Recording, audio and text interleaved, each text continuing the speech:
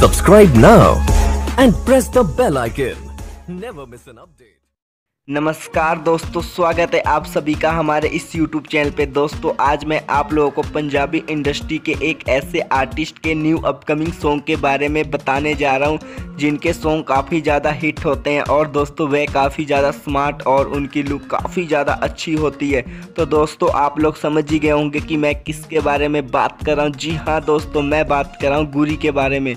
दोस्तों, गुरी काफ़ी ज़्यादा फ़ेमस और काफ़ी एक्साइटेड सिंगर है जो काफ़ी ज़्यादा अच्छे सॉन्ग लिखते हैं और गाते हैं। दोस्तों, गुरी का अभी न्यू सॉन्ग आया था, जट्टी, जो कि सॉन्ग यूट्यूब पर काफ़ी ज़्यादा हिट हुआ था। दोस्तों, इस सॉन्ग में गुरी के साथ जन्नत जुबेर भी नज़र आई थी, जिस कारण सॉन्ग को काफ़ी ज़्यादा पॉपुलरिटी मिली और इनके फैंस ने इस सॉन्ग को काफ़ी ज़्यादा पसंद किया। टिकटॉक पे ये सॉन्ग काफ़ी ज़्यादा इसकी वीडियो बनाई गई। दोस्तों, इस सॉन्ग के अभी भी यूट्यूब पर काफ़ी ज़्यादा लोकप्रिय हो रहा है। तो अगर हम गुरी के बारे में बात करें तो गुरी ने पंजाबी इंडस्ट्री को काफ़ी ज़्यादा सुपर हिट सॉन्ग दिए हैं। इनके सॉन्ग काफ़ी ज़्यादा हिट होते हैं, दोस्तों। अगर हम गुरी के अपकमिंग सॉन्ग के बारे में बात करें तो दोस्तों, इस साल इनके काफ़ी ज़्यादा सॉन्ग आने वाले हैं। दोस्तों, हमें उम्मीद है, अगर आप लोग गुरी के फ़ैन हैं तो आप लोग ये वीडियो आखिरी तक ज़रूर देखना, जिसमें हम आपको बताएँगे कि गुरी का कौन सा सॉन्ग आने वाला है?